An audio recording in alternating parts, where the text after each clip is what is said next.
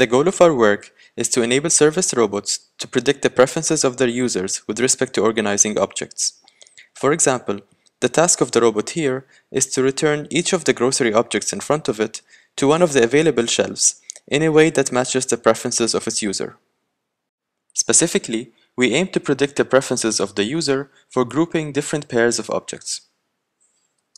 To achieve this, we rely on how the user has already grouped other objects on the shelves to infer some pairwise object preferences for this user. Our goal is then to predict the missing pairwise preferences related to the objects that the robot has to organize.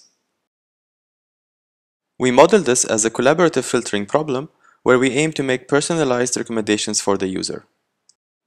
Our collaborative filtering approach learns a model for this user and predicts the missing ratings by discovering patterns in a database of different user preferences. We then use spectral clustering based on the predicted pairwise preferences to group the objects into different shelves. We estimate the best number of clusters to use while considering the number of shelves available for the task. The robot can then assign each object to its preferred shelf and finish the task accordingly.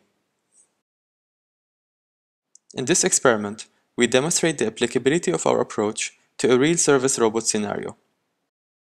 In each case, and based on the objects arranged on the shelves, the robot returns the objects on the table to their preferred shelves as predicted by our approach.